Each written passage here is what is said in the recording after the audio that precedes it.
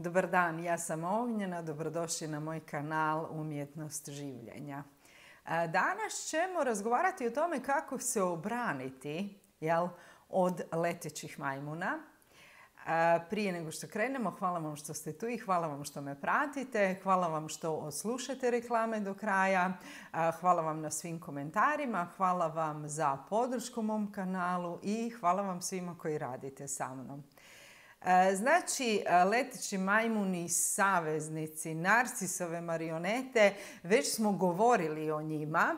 E, međutim, kako ćete se vi u biti obraniti od toga? O čemu se radi? Znači, ako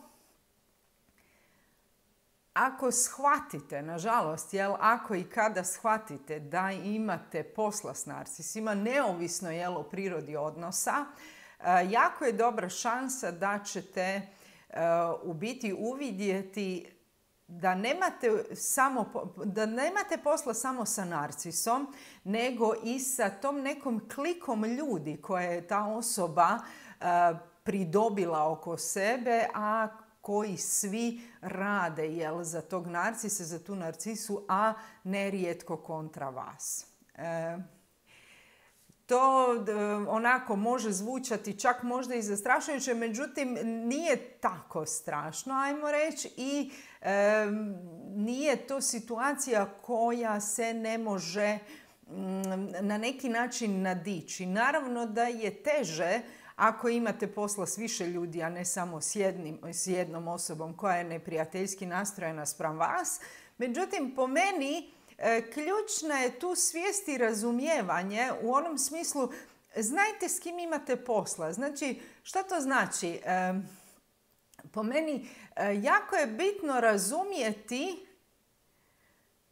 da je cijela ta situacija i cijeli taj konstrukt zapravo laž. Znači, to je znači, ta jedna činjenica na koju se uvijek jel, vratimo uvijek kada je u pitanju e, narcisoidni poremećaj ličnosti, kada je u pitanju klaster B, vi morate imati svijest o laži. Znači uvijek imajte pretpostavku da je sve oko te osobe i oko ljudi oko te osobe sve je laž. E, vi ćete osjetiti, znači ako govorimo o letićim majmunima, vi ćete osjetiti E, da ljudi nisu naklonjeni vama, jel, nego, nego toj drugoj osobi, tom narcisu. E, čim to osjetite, nemojte jel, ignorirati taj osjećaj, ali kako rekoh, držite se jel, te premise da je sve laž. I nemojte se u tom kontekstu, nemojte se ni dati uvući u dramu. Jednostavno držite se svoje E, stvarnosti. Držite se svoje stvarnosti i ne dopustite da neko e, utječe na tu svoju stvarnost. Znate, jer pazite, ti ljudi znaju biti jako, jako suptilni ono kao e, recimo vi kažete ne znam ova situacija mi je jako uznemirujuća i ne želim biti involvirana. I onda vam ti ljudi kažu ja pa ti si tako pa ti, si stvarno preosjetljiva jel? Dobro mi pero govori da si preosjetljiva. Po, po tome ćete to skužiti. Međutim e, stvarnost je e, da vi imate pravo osjećati se tako kako se osjećate i nitko nema pravo vama govoriti šta ćete misliti, šta ćete osjećati. E, čim neko nastoji na taj način utjecati na nas, to je jasan znak da tu, naravski rečeno, nisu čista posla. Maknite se od toga, odnosno ne dopustite da takve izjave i takve sugestije u biti utječu na vas. Ono jednostavno reći, možete vi uvijek s poštovanjem reći dobro, ali ja se ne slažem, hvala lijepo, doviđenja. I nemojte ulaziti u dramu. Umjesto toga, okrenite se ljudima kojima vjerujete. To ćete isto kako i osjetiti, tako ćete i iskustveno znati. Ovo može biti malo zahtjevno, jer pazite, narcisi su šarmantni, nerijetko imaju strašno jaku karizmu i oni umiju pridobiti ljude oko sebe. I tu e, nerijetko to budu relativno čak i teške bitke. Međutim, e, nemojte se, gdje ljudi često griješe? Često mi griješimo jer želimo te, te leteće majmune uvjeriti kako sve to nije istina.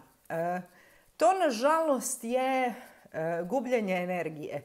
Zato što E, doći će trenutak, možemo se nadati, da će ti ljudi osvijestiti da, da su manipulirani. Međutim, sve dok oni nisu otvoreni za to, vi ne možete na njih siliti jel, realnost i istinu. Znači, pustite, bolje je okrenuti se ljudima koji nisu dio te klike. I posvetite se znači tim ljudima jer e,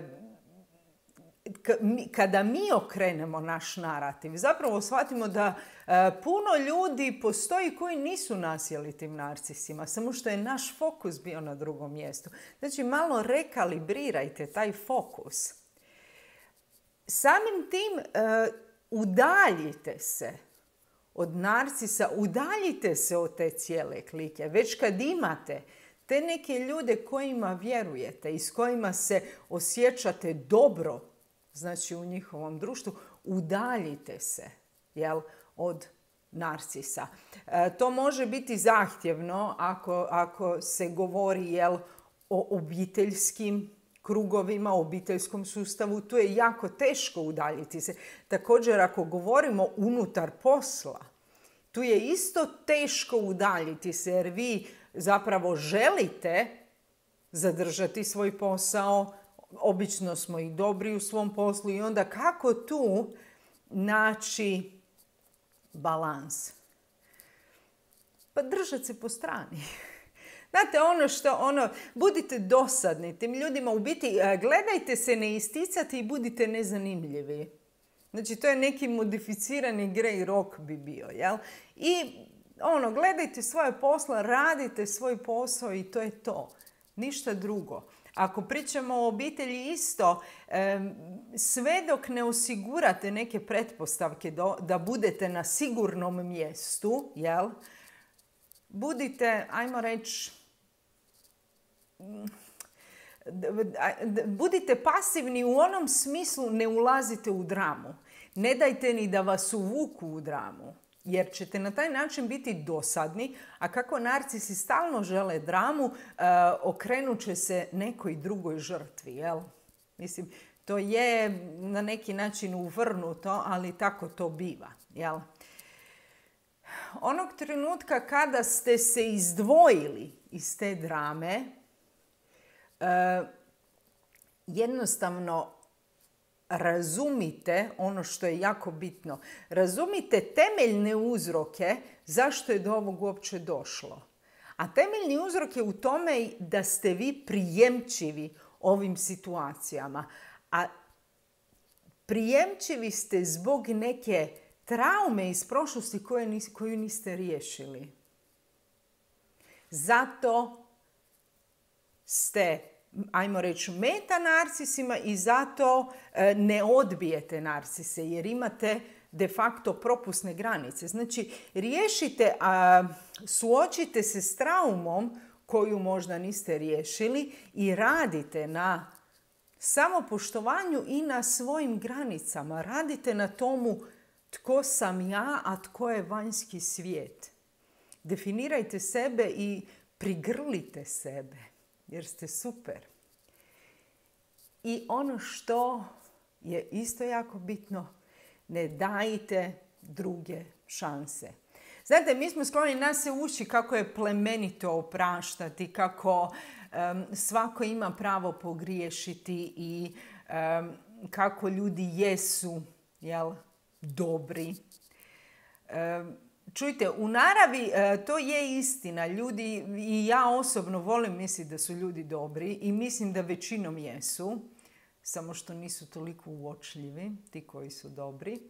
E, I istina je da svi mi pogriješimo, ja prva. I istina je da e, znači, jedan pogrešni postupak ne definira nas, ne daj Bože, jel? Međutim, isto tako je istina da e, ljudi koji su ispravni neće morati koristiti ovu argumentaciju da vas uvjere da su zaslužili drugu šansu. Znači, problem ove argumentacije je da se jako često koristi u manipulativne svrhe. Znači, osoba koja je pogriješila, ali u onom smislu kao pojedinačni događaj, e, vi ćete sami u biti oprostiti toj osobi, bez da vam ta osoba išta, e, bez da vas ta osoba mora uvjeravati u to. Jel? Problem je kad vas neko krene uvjeravati i krene vam objašnjavati jel, zašto zaslužuje drugu šansu i ostalo. E, to u biti je indikacija da se ta neka zlodjela e, nisu akutna, već su kronična i ponavljaju se. To su situacije kad zapravo trebamo biti na oprezu i ne davati drugu šansu.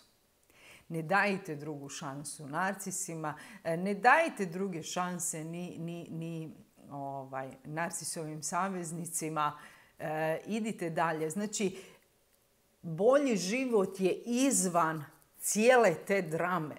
O tome se radi. I, nažalost, tu nema sive zone. I nije lako u operativnom smislu čak nije lako sve to e, odraditi.